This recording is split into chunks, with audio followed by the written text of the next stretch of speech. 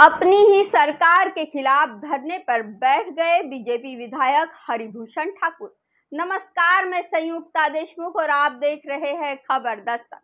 मधुबनी के उसोंथु गाँव के बन रहे अल्पसंख्यक विद्यालय और छात्रावास का गाँव वालों ने ज़बरदस्त विरोध किया। उनका कहना है कि ये ज़मीन सरकार ने उनको रहने के लिए दी है। मधुबनी ज़िले के बिस्फी प्रखंड के रखोली पंचायत के उसोथु गाँव में दलित, महादलित, अति पिछड़ी जाति के छहत्तर पर्चाधारियों की भूमि पर अल्पसंख्यक विद्यालय और छात्रावास बनाया जा रहा था, जिसका शुक्रवार 20 सितंबर को ग्रामीणों ने ज़बरदस्त विरोध किया।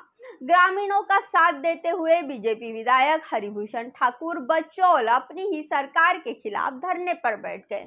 हंगामे के बाद फ़िलहाल जिला प्रशासन ने निर्माण पर रोक लगा दी। जानकारी के अनुसार बिस्फी प्रखंड के प्रखंड के रघोली पंचायत के उसौथु गाँव में शुक्रवार भरी दोपहर को दलित, महादलित, अति पिछड़ा की भूमि पर अल्पसंख्यक विद्यालय सह अल्पसंख्यक छात्रावास का निर्माण शुरू किया जा रहा था। लेकिन मौके पर पर्चाधारियों और ग्रामीणों के ज़बरदस्त विरोध के बाद जिला प्रशासन को अल्पसंख्यक विद्यालय सह अल्पसंख्यक छात्रावास के निर्माण पर रोक लगाना पड़ा। मौके पर ग्रामीणों के समर्थन में बिस्फी के बीजेपी विधायक और बिहार विधानसभा में सत्तारूढ़ दल के सचेतक हरिभूषण ठाकुर बचौल भी उक्त भूमि पर ग्रामीणों के साथ धरना पर बैठ गए। उनके किए गए प्रयासों के बाद प्रशासन हरकत में आया है और निर्माण कार्य पर तत्काल रोक लग सकी। घटना को लेकर हरिभूषण ठाकुर बचौल ने बताया कि इस मामले में जानकारी गुरुवार को ही मधुबनी के डीएम अरविंद कुमार वर्मा को दे दी थी। इसके बाद भी बिना पूर्व सूचना के ठेकेदार ने छात्रावास निर्माण का कार्य शुरू कर दिया। हम अल्पसंख्यक विद्यालय सह अल्पसंख्यक छात्रावास के निर्माण के खिलाफ नहीं है, लेकिन स्थल का चयन गलत है। इस ज़मीन का पर्चा सरकार ने ही आम जनता को दिया है। यहाँ बाढ़ में दस फीट से ज़्यादा पानी रहता है। ऊपर से यहाँ के पर्चाधारियों ने अभी कई बार पानी देकर फ़सल उपज, उपजाया गया था। ठेकेदार ने भूमि पर लगे धान के तैयार फ़सल को रोटावेटर मशीन से तहस नहस कर दिया। इसको लेकर पर्चाधारियों में अलग अलग आक्रोश है। ये जनता के पैसे की लूट है, जिसको लेकर जनता आंदोलन कर रही है।